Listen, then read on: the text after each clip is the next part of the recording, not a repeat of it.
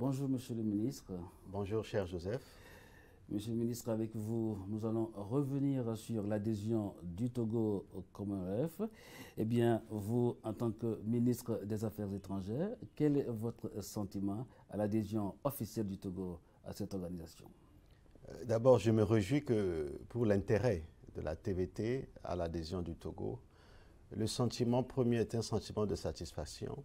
Comme vous le saviez, l'adhésion du Togo aujourd'hui au Commonwealth est un pas important en termes d'influence et de la présence internationale du Togo euh, dans le concert des nations. Et le président de la République, euh, le président Fornia Singbe, n'a pas hésité un seul instant de soutenir cette adhésion jusqu'à ce que ce 25 juin passé, le Togo ait été admis par euh, la conférence des chefs d'État du Commonwealth. Donc, euh, à comprendre que le, Togo a donc voulu cela, le Togo a travaillé pour cela, et quelles en seront les retombées pour le pays? D'abord, je vais vous rappeler que le Togo a commencé à travailler pour son adhésion au Commonwealth depuis 2014. Ça, c'est important. Donc, vous voyez que c'est un processus qui pouvait être beaucoup plus bref. Mais le président de la République euh, a voulu que euh, le gouvernement puisse prendre le temps de travailler patiemment avec euh, le secrétariat du Commonwealth et cela aboutit à cette adhésion. Donc cette adhésion, vous deviez savoir qu'elle est une volonté politique. Ça c'est clair, elle est une volonté politique. Et ce que le Togo a à gagner comme membre du Commonwealth est tellement important quand on voit la capacité du Commonwealth aujourd'hui que cette adhésion est une très grande satisfaction pour le gouvernement. Et le gouvernement s'attelle désormais à ce que, euh, dans les faits, les populations togolaises puissent ressentir euh, cette adhésion. Eh bien, le Premier ministre euh, britannique Boris Johnson affirmait que cette adhésion représente un avantage diplomatique et commercial. Votre réaction, Monsieur le ministre oui, je, me réjouis que le Premier ministre euh, euh, britannique l'ait dit. Mais pour nous, ce n'est pas seulement un avantage diplomatique et commercial. Nous avions d'abord des raisons historiques. Nous avions euh, un avantage, comme je vous le disais, en termes de la présence internationale du Togo, en termes d'influence du Togo dans le concert des nations. Nous avions bien sûr un avantage économique. Vous saviez, le Commonwealth aujourd'hui, avec l'adhésion du Togo et du Gabon, fait aujourd'hui 56 pays. 56 pays avec plus de 2 milliards 100 et quelques millions d'habitants.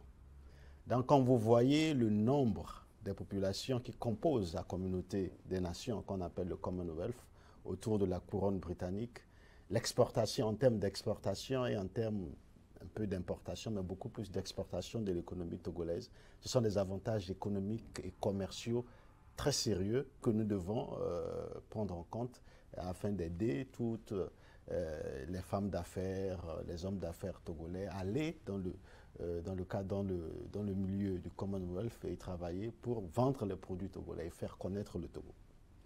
Eh bien, Monsieur le ministre, quel impact pourrait avoir cette adhésion sur le rôle et la place du Togo au sein de la francophonie?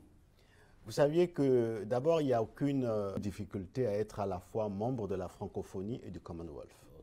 Nous avions au sein du Commonwealth des pays comme euh, le Cameroun, qui est membre de la francophonie et du Commonwealth, que le Cameroun a, intégré depuis 27 ans déjà.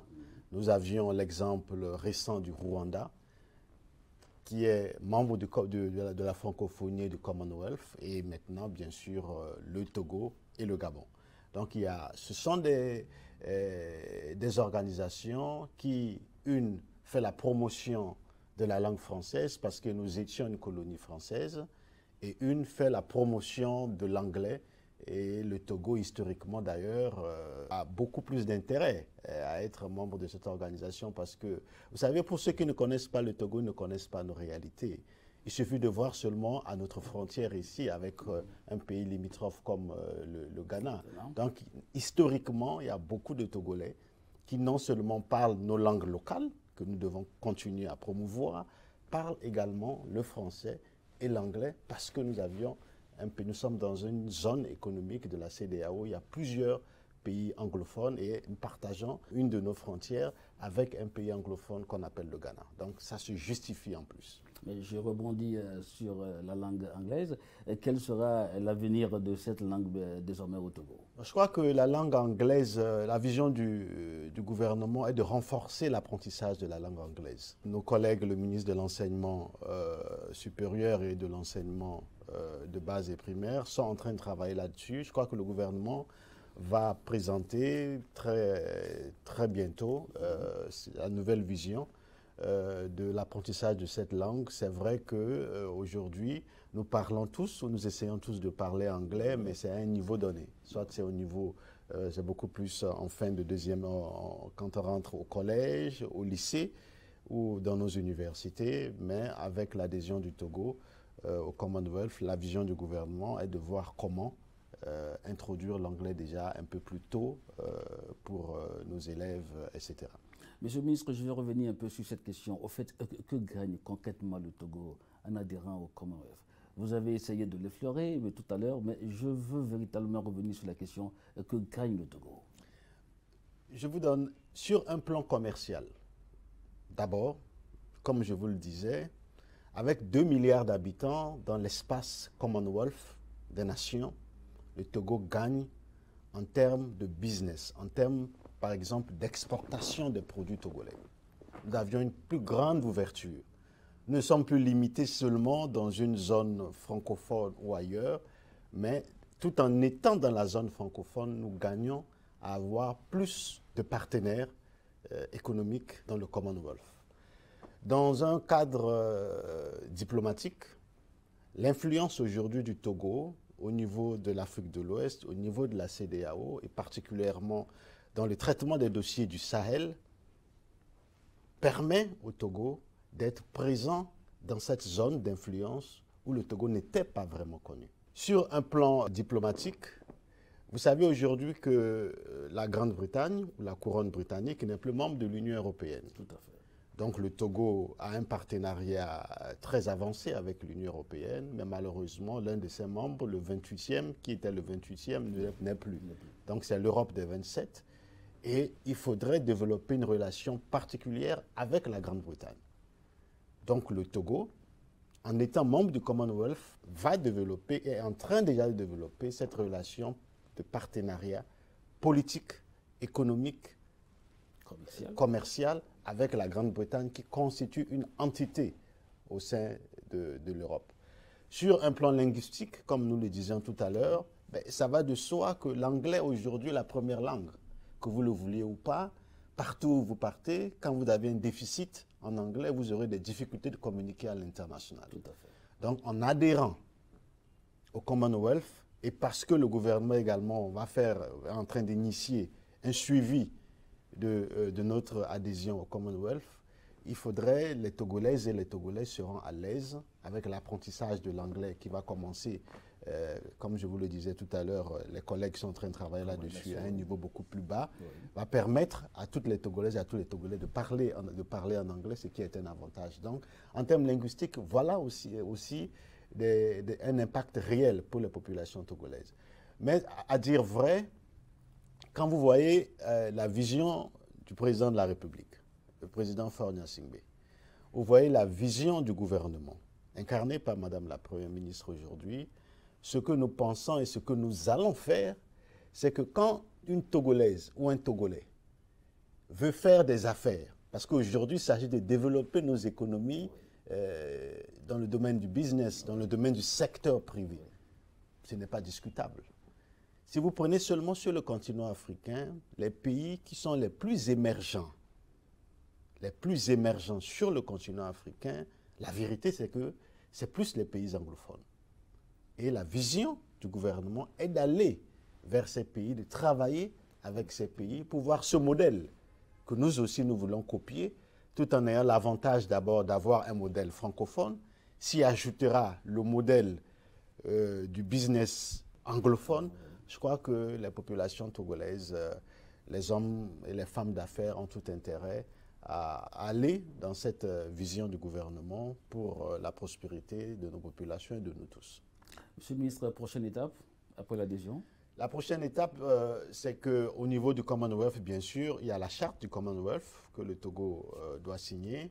Et puis après, le Togo doit participer à toutes les réunions du Commonwealth comme étant pays membre. Euh, le Togo doit participer à toutes ces réunions et c'est dans la participation à ces réunions que nous allons signer de plus en plus tous les accords de partenariat économique, commercial, euh, etc., avec euh, le secrétariat du Commonwealth et avec les autres pays du Commonwealth. Donc c'est un, disons que nous sommes, c'est un chemin qui vient de s'ouvrir et nous rentrons sur ce chemin et normalement, dans des meilleurs délais, nous allons signer les partenariats qui, sont prêts, et accompagnés bien sûr par le secrétariat du Commonwealth, afin que les populations togolaises, le peuple togolais, soient fiers d'être à la fois francophones et membres du Commonwealth un message pour les Togolais, certainement, suite à cette adhésion.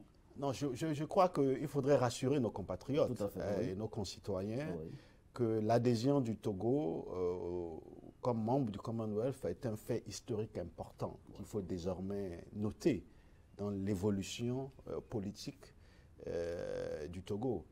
Et cette adhésion est également un, acte économique et une vision qu'incarne le président de la République. Parce que pour y arriver, nous avions eu quatre étapes. Hein. Euh, la première étape était les discussions que le gouvernement a commencées avec le secrétariat du Commonwealth.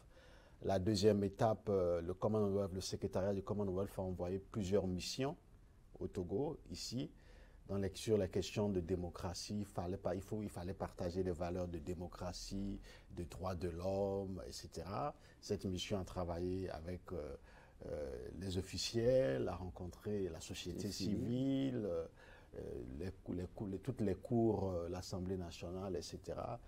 La, la troisième étape était la lettre que le président de la République a adressée officiellement au secrétariat du Commonwealth en avril passé pour demander l'adhésion du Togo.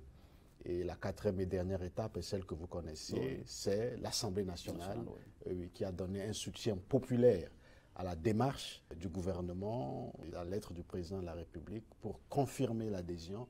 Et enfin, nous sommes devenus membres. Donc je crois que c'est un sentiment de satisfaction et surtout de, de nous sentir appartenir à un monde plus vaste, plus ouvert. Et ce que nous devons retenir comme Togolaises et Togolais aujourd'hui, c'est de dire que nous avions encore une nouvelle opportunité. Mais à la vérité, n'attendons pas que les autres nous disent ce que nous allons faire.